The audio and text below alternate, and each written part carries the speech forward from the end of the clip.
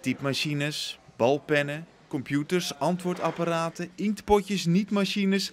Bijna alles moet weg, want Scription houdt op te bestaan. Zit er iets voor u bij, meneer? Ik ben een beetje aan het kijken, maar het is gewoon interessant. Het blijft interessant, vind ik, wat de vervoerplaats zijn gevonden. Wat zoekt u precies? Ja, eigenlijk, ik ben hier op zoek naar iets speciaals.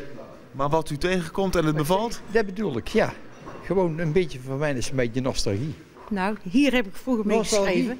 Nostalgie van Ja, vroeger toen wij waren op school. Schreven we altijd met deze pennen. Ja. Dus u koopt nostalgie. Ja. Ja. ja.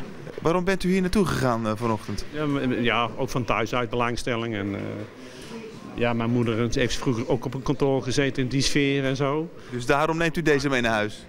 Misschien indirect, want ze heeft er wel iets van weg, ja. Ja, ja een warm plekje in mijn hart, hè? Toch? Maar voor de werknemers van Scription is het vandaag met pijn in het hart. Een gedeelte van de collectie is ondergebracht in een depot, maar de rest is vandaag noodgedwongen verkocht. En dat kan niet iedereen aan.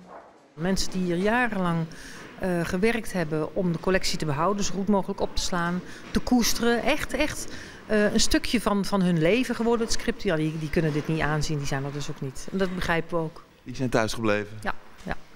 Scription verwacht zo'n 3 tot 4.000 euro te hebben verdiend aan de opheffingsverkoop.